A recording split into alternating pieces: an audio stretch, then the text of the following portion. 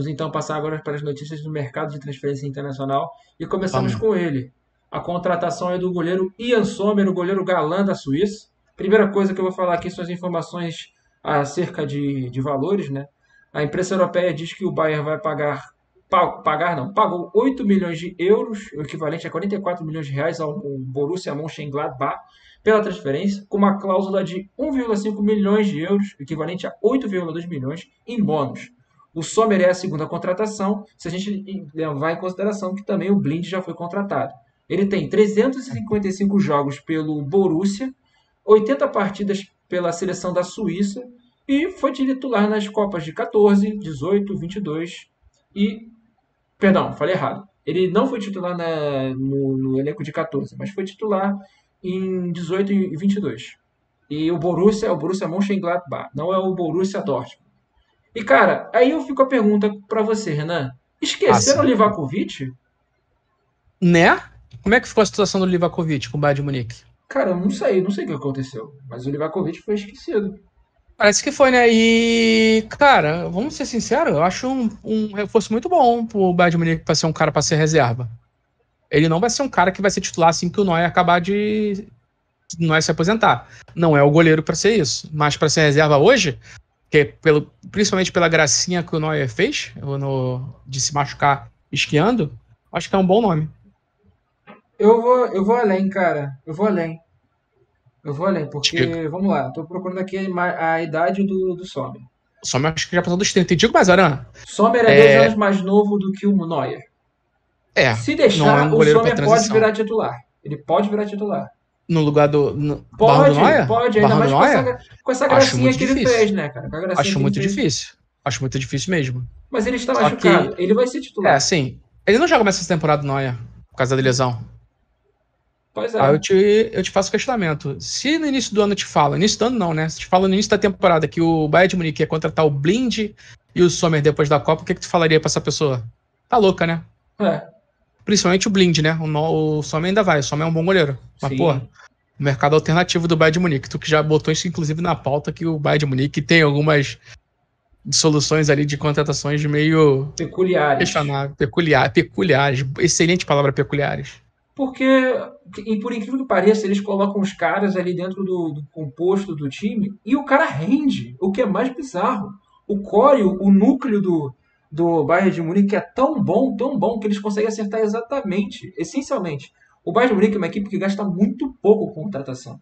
Outra vez foram comparar o valor, o valor gasto pelo Paris Saint-Germain e pelo Bayern de Munique quando teve a final da, de 2020 da Liga dos Campeões. O Bayern de Munique gastou muito pouco no elenco, que era excelente. O Sim. Gnabry, que era, assim, veio, veio o valor de trocado do Werder Bremen. É, deixa, o Goretzka também veio muito barato. Cara, assim, Excelente reforço. Ele mudou o físico dele absurdo no Bayern. absurdamente. Tem sempre deixar claro que o Bayern não tem dono, como tem os grandes times do futebol mundial. Não Tirando o tem Real. Madrid e Barcelona, que também não tem dono. Na teoria, pelo menos, né? É, o Tem dono gente a lá que tá há muito tempo, é. O dono, pelo menos. Tem- existe uma certa democracia, pelo menos, no clube. Mas o Bayern não tem esse dono. Inclusive, tem uma série muito boa do Bayern na Prime, no Prime Video que mostra muito dos bastidores. E como eles usam os atletas como profissionais. Inclusive, recentemente, se eu não me engano, o Kahn foi demitido. O Kahn foi demitido. Não, o Kahn é presidente. Sim. E teve o. Não, eu acho que não, foi o o Lizarrazu que foi demitido. Não é o Bierhoff? Eu acho que é o Bierhoff. Bierhoff. eu- talvez seja o Kahn, o presidente, não é? Deixa eu ver aqui, deixa eu ver aqui. E Bierhoff. teve o. O Salih, Salih Hamadic, uma porra dessa, um, o nome desse complicado, que ele era dirigente de futebol, fazia as contratações, parece que ele caiu. Posso ter enganado também, que mas eu vi isso em algum lugar. Salih Hadimizic. É, que foi o jogador também, que o Bayern usa muito ex-jogadores como dirigentes do clube. Se eu não me engano, é o Neuer, sim, o, o presidente, o responsável lá pelo Bayern de Munique. Pesquise aí. Isso, presidente. Neuer não, desculpa, o Kahn. O Oliver Kahn é presidente. Eu esqueci, não. Não é o Bierhoff. Eu falei errado. Não é o Bierhoff aqui. É o Oliver Kahn. Se eu não me engano. Eu falei Neuer, eu, eu falei Neuer o tempo inteiro? Não, você falou Oliver Kahn. Oliver Kahn, Oliver Kahn. Eu falei errado, cara. É porque eu confundi o, o, o, o nome. Porque o Bierhoff, se eu não me engano, jamais jogou pelo Bayern de Munique. É outro Não jogador que, que, eu tô tentando, que eu tô tentando me lembrar. O Rummenigge. O Rummenigge acho que foi presidente Sim, sim. anterior ao, ao Oliver Kahn. Kahn.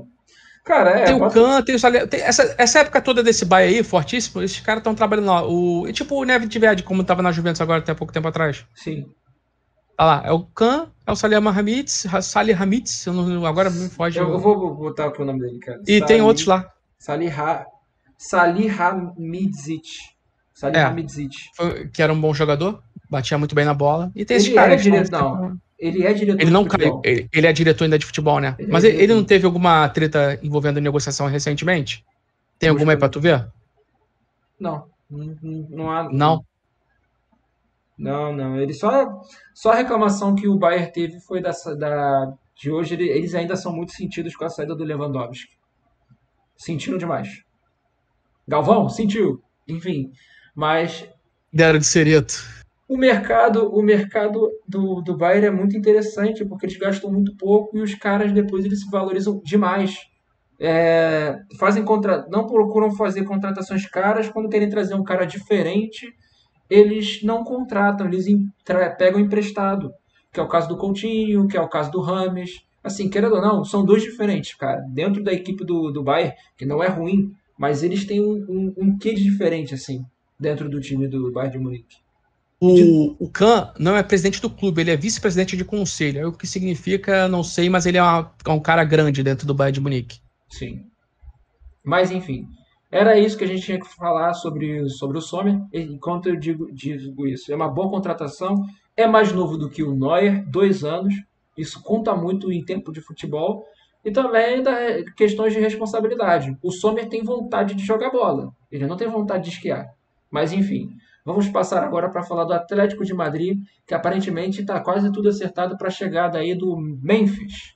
O Memphis, que é pouco utilizado no, no Barcelona, carrega aí muitas lesões, ele está cada vez mais próximo aí do Atlético. Com 28 anos, é, ele vai integrar o time do Simeone, que vai pagar um valor entre 3 e 4 milhões de euros, equivalente a 16,7 e 22,2 bilhões de reais. Ele deve assinar até 2028 com, com o Atlético. De acordo com as informações do. Essas acho que seriam informações do Fabrício Romano. É, o Barcelona pedia ao menos 7 milhões de euros, equivalente a 39 milhões de reais, para liberar o atacante, que tem contrato com a equipe catalã somente até junho deste ano. E diante da possibilidade de contratá-lo sem custos no meio da temporada, o Atlético conseguiu convencer o rival a negociá-lo por menos. Bom, dentro das características, e um jogador que infelizmente viveu com lesão, não conseguiu é, virar com, indo de novo para uma equipe de nível altíssimo, que é o Barcelona, de nome altíssimo, né? não de nível altíssimo, ele está dentro de uma equipe que é muito perto das características da seleção dele, né, cara? Tem ou até, até mais defensivo. E, cara, tu vê como é que tá o valor do jogador, como é que o.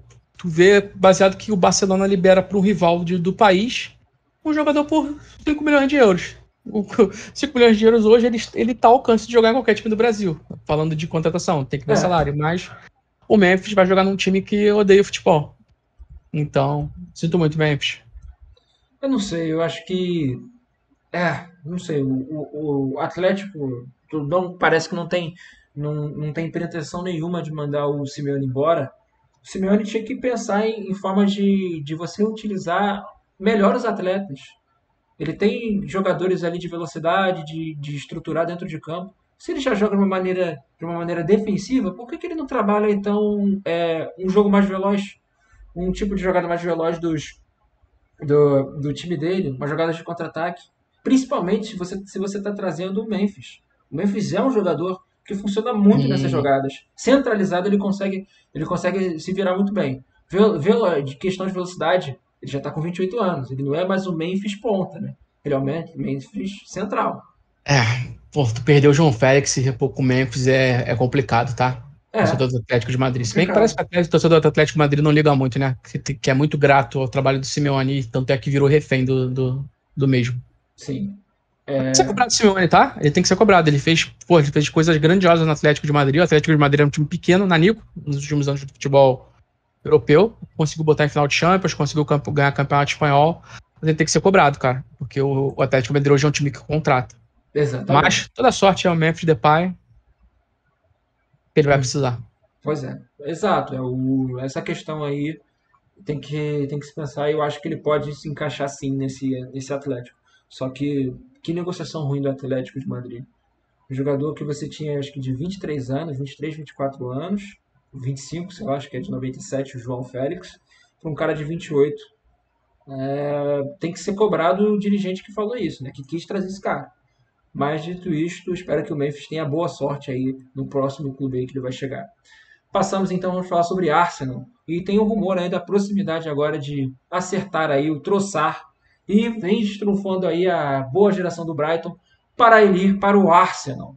Lembrando que o Arsenal, na posição do Troçar, já tem aí uma titularidade que é de ninguém mais, ninguém menos do Gabriel Martinelli. Só seguindo as informações aí sobre o, o atleta Troçar, ele foi revelado pelo Genk da Bélgica e acabou sendo contratado pelo Brighton em 2019. Ele soma 121 jogos, 25 gols e 13 assistências. Ele, se não me engano, também ele tem 28 anos, exatamente isso. É... E ele tem feito a diferença no campeonato, né? Ele tem dado canseira aí, deu canseira em cima do Liverpool, tem dado canseira em alguns clubes, né, Renan? Sim, sim. E a gente falou bastante dele no Copa Cash, hein? Sim, a gente talvez, falou bastante ele, dele. talvez estivesse discutindo com o Hazard. E se ele tá, se a gente tá do, se tá tendo discussão entre o Hazard e o Trossard, a gente tá do lado do Trossard. do bom time do Brighton, né, o Aran? Exatamente. E, e, saiu, inclusive hoje, não sei se tu viu, eu tô dando aqui, dando uma pesquisada aqui na pauta, não tá, que parece que o Moses Caicedo vai pro Chelsea, né? Pro Chelsea? Eles já têm ali um histórico de, de relação, valores que gerariam em torno de 70 milhões de euros. Saiu Ou agora há pouquinho. Ou seja, mais um volante dentro dessa equipe e que mais questiona a gente. O que, que o Andrei foi fazendo no Chelsea, cara? Mais uma né? vez. Cara, eu acho, que, eu acho que é Chelsea, posso estar enganado, mas eu acho que é. Uhum. E o cachorro bebendo copa apareceu, falando aí. Oba, belo jogo entre Paris Saint-Germain e Al Nassr, a gente vai falar sobre esse jogo. Quadrado no Al Nassr, tô assistindo o Vascão. É... Mas, cara, eu não consigo entender, eu não consigo entender essa questão do, do Andrei. Acho que realmente o que pesou foi, foi a camisa, né? O Chelsea se tornou uma camisa pesada nos últimos anos. Mas a questão do Trossard eu achei um pouco até. Demorou, né? Demorou para ele, ele ter ser procurado por outras equipes do. Por outras equipes, e ele vem para ser esse 12 jogador dentro do, do Arsenal, né? Sim, é, é um bom reforço. O Arsenal que perdeu, não conseguiu contratar o Mudrik, né? Os valores ficaram absurdos e o cara foi pro Chelsea. É o que consegue pra. Porra, Sim. bom jogador o Trossard. Pode ser um jogador muito útil pro. pro... Ele tá com 27 anos, né? 28. 28 é um pouco acima do que a média do, do Arsenal, que, é, cara, é incrível isso aí. O Arsenal é um time muito jovem. É um, é um bom reforço. Acho um bom reforço do Arsenal. Sim, e não menos importante é entre você trazer um Mudrik que você não sabe o que, que ele vai ser na Premier League, você tem um cara que já está estabelecido nela, né? É, tá testado já, né? Já tá testado. Pô, é, a gente tá falando isso agora. Pode ser que daqui a dois anos a gente fala, cara, esse Mudrik joga muita bola, é um, porra, é um gênio da bola. claro. Mas a gente tem pouquíssima informação sobre o Mudrik, sinceramente. Quem Critiquei. acompanha Shakhtar Donetsk, porra, tá zoando, né? Eu critiquei um pouco dessa questão sobre o, sobre o Mudrik, mas pode ser que ele vire, pode ser que ele seja um baita jogador. Pode ser, Pode mas... ser, é que a gente não tem muita referência, porque é o Shakhtar, pô. Ah, assim, é, exato. Já, a Ucrânia, ela, ela, tá, ela tem uma liga interessante, já, alguns jogadores saem de lá, né, principalmente brasileiros, saem para outros times da Europa, mas a gente também tem que sempre botar uma pulga atrás da orelha, né? Mas, em relação, ao, voltando ao assunto questão sobre o Troçar, cara, eu lembro uma simulação minha do FIFA, de que eu tava jogando um, modo carreira no, no FIFA que eu jogo, que eu tava, eu tava jogando aquelas, aquelas carreiras que eu não ficava fixo num time. Vinha a proposta, ah. eu vinha mudando de time. Aí eu resolvi sair do time, do, do time que eu tava, eu tava treinando o Portsmouth, tava na primeira divisão, e me chega e tem proposta de eu, de eu me candidatar pro Arsenal. Me candidatei pro Arsenal, adivinha quem tava lá? Troçar. Olha aí o jogo, o jogo prevendo. E o, o Arsenal e o United são muito fortes em jogos de, de manager, de futebol manager. É, é, incrível como, como eles empilham taça ao longo dos anos. Uhum. Ah, só que ficava pelo jogo, né? Porque o United parou no tempo e o Arsenal também parou no tempo e tá se reerguendo agora, né? E Exato. quem sabe esse ano consiga finalmente gritar é campeão. O Arsenal vai ser campeão, voltar a ser campeão antes do Harry Kane saber o que, que é isso. Pois é, exatamente. Harry Kane que tinha a chance de ter continuado no Arsenal, mas não foi.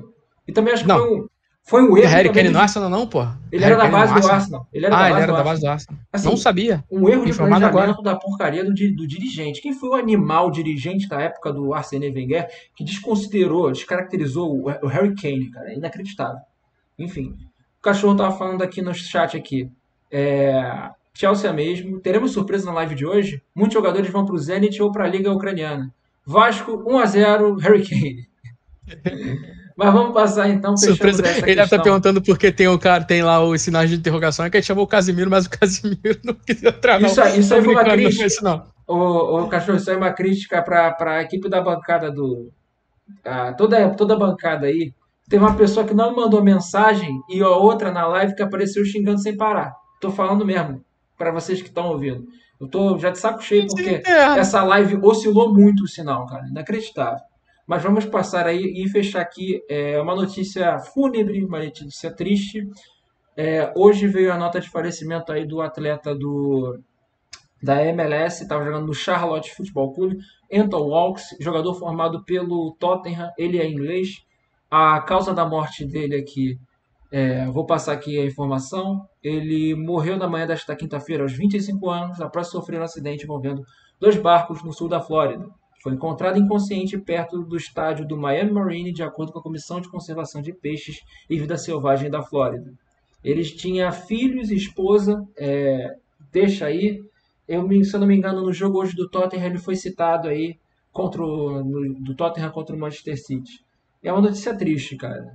Assim, e um jogador que fazia parte da base e muito jovem e dessa maneira tão trágica, assim, um acidente. Comentários? Né? Ah, cara, forças pra família aí, que é sempre complicado. E respondendo ao chat, o cachorro perguntou. Falou, não perguntou não, ele falou que muito jogador vai pra Liga Russa e Ucrânia. Vai, pô, é uma liga que é muito forte financeiramente, é muito dinheiro do petróleo lá. Inclusive, o jogador brasileiro sai daqui achando que vai chegar lá, jogar um ano e vai pra um time grande. Não é bem assim, não, porque é caro pra sair de lá, né, Ana? Tá ligado disso, né? Sim, é muito caro. É, por é isso caro que sair o, de lá. É Eles não vendem barato, não, não dão jogador. Por isso que o Honda demorou demais para sair de lá. É por isso que o Wagner Love nunca saiu de lá. Eu acho que o Wagner Love tinha, não tinha bola para jogar na Europa. Talvez um time da prateleira, tinha. Por exemplo, o Yuri Alberto só tá hoje no Brasil porque estourou guerra. Ayrton Lucas só tá no Brasil porque estourou guerra. guerra. Pedrinho, voltando para o Atlético Mineiro, porque estourou guerra, pô. Senão estariam tudo lá, porque é, é, muito caro tirar jogador de lá. É extremamente caro. E eu tava tentando me lembrar de alguns outros nomes aí, outros atletas, assim. O Achavin saiu por uma sorte porque o, o Arsené, ele é um cara é, eu, como acompanho o Arsenal, assim, eu ah, tinha muita coisa para reclamar no final, mas ele sempre se notabilizou por ser um cara que o maluco, o maluco ele, ele sabia procurar jogador. Ele procurava muito bem. Uhum. Ele ia atrás assim de, desses nomes por aí. E aí ele trazia assim, pô, ele trazia é, jogadores, jogadores do Japão que se destacavam, assim, a rede, a rede sempre foi muito boa. O Arsenal hoje tem uma, tem uma rede muito, assim, de vários jogadores que vários tiveram passagens, assim, o Gnabry teve passagem no, no Arsenal, o Assano da, da Copa, que fez o gol da virada em cima da Alemanha, também teve passagem pelo Arsenal. Só tem por causa dele, cara. Por causa dessa, dessa capilaridade que ele gerou ao clube, cara. Sempre foi uma base muito forte, só que o problema era quando o jogador estava pronto, ele ia para outro time ser campeão. E foi é. aconteceu isso mais de uma vez, mais de dez vezes. E Aran, Posso dar uma aqui uma informação também quentinha aqui de última hora, de uma especulação? Sim. Antes disso, eu vou falar. A gente está falando de jogador russo e ucraniano. Se a gente for pensar no ucraniano, tirando o Archavinho e o Zirkov, eu não consigo lembrar de jogador russo assim em grandes ligas. Tem o, o Pavlyuchenko Pobedreniak, que jogou no Tottenham, e fora isso, não lembro mais. Alenichev, que foi campeão Alenichev. Sterichev. É... São bem poucos, são bem poucos. Sterichev. O, é, assim, eu, como a gente já falou na, na outra live, o, o Zagoev nunca saiu, eu não lembro, o Akinfev não saiu. O Akinfev, ele é bom goleiro sim, ele é só o problema é que ele nunca tira, não... ele nunca saiu do, do CSK, cara. A gente nunca pôde Essa, ver ele fora. Eu te contesto. As Copas que o Akinfev foi, fez foi muito ruins. É, a negociação. Pô, em 2018 ele foi foda, cara. É. Eu tenho o pé atrás com o Akinfev. Deixa eu te falar a especulação. Tá. O West Ham está interessado no Vitor Roque, com valores de aproximadamente 20 milhões entre fixos e bônus. É... Vitor Roque, pelo seu bem, não vai pro West Ham, não, cara. Não, não cometa o mesmo erro que o Pacta fez, não. Não vai jogar contra o inimigo da bola, não. E 20 milhões do Vitor Roque é... é irrisório o valor. Vale muito mais que isso, moleque. E, inclusive, Ele é muito novo, ele já foi mais testado no profissional, ele entregou mais no profissional que o Hendrick até agora. Também, tem bem mais jogos que o Hendrick no profissional, mas o, o Vitor Roque tava na lista para ser eleito o melhor da Libertadores desse ano. É uma amostra bem forte do Vitor Roque. de revelação do Brasil. Poderia. Porra, porque Poderia. isso, eu já falei, inacreditável. Não tô criticando o futebol do Hendrick, gosto do futebol do Hendrick e vejo que ele tem Sim. futuro. Só que o foi potencial uma... do moleque é absurdo. Só que ele Foi, caiu. foi pelo ele, nome. ele caiu por causa do nome do time que ele tá, por causa da propaganda que foi feita. Porque, pô, a gente sabe como é a imprensa paulista. A imprensa paulista é a imprensa que, infelizmente, Forte controla, é forte. Assim, é, como tu falou, né? O Hendrick tem o potencial pra ser o melhor jogador do mundo, porra. É. O Hendrick é absurdo. Eu tô fazendo o vídeo aqui que eu tô fazendo a copinha, os números do Hendrick na base são absurdos. Sempre jogando numa divisão acima, o cara manteve um- quase média de um gol por partida. 164 gols em 169 partidas. Porra, o moleque é um fenômeno de bola, mas o Vitor Roque merecia por ter apresentado mais. pois é. E não é demérito ao Hendrick, não, tá? Os dois são muita bola. Uhum.